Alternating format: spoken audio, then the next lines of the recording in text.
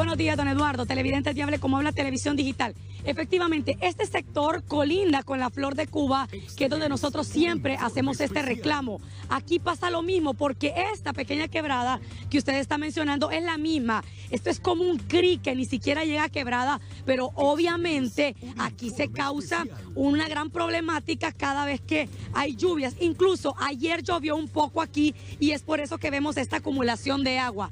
Cuando se dio ETA y OTA, eh, colapsó lo que es el puente de la Flor de Cubas y también esta plancha que es la que conecta el sector de los paraísos para ir al rubro a la donde están las maquilas, que es uno de los rubros más fuertes aquí. Voy a platicar con este caballero. Venga por acá, estimado. Usted va a cruzar en este momento en su bicicleta. Aquí nosotros estuvimos presenciando una protesta que se dio hace, hace dos días aquí, pero al parecer ustedes están en el abandono porque no hay una respuesta certera de qué va a pasar con ustedes aquí con este paso.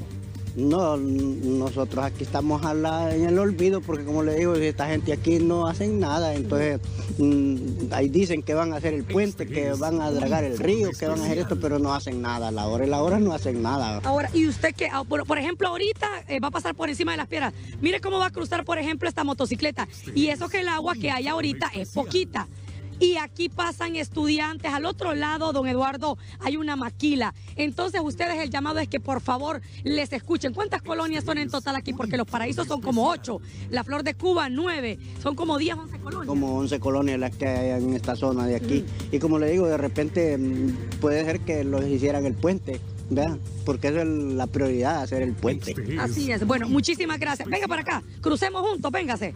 Verá, vea, esto es lo que hace la gente aquí. Aquí han puesto unas piedras. Bueno, él va en bicicleta, pero le va a tener que tirar por encima de las piedritas. Y esta es la improvisación. Mira aquí cómo hay también la gran cantidad de basura, porque esa es otra cosa. Y ojo, que estas son aguas negras. Entonces, mire. Este es un informe especial. Ahí vamos, ¿ves? Y así cruza toda la gente, los niños, las personas que van para el sector de la maquila.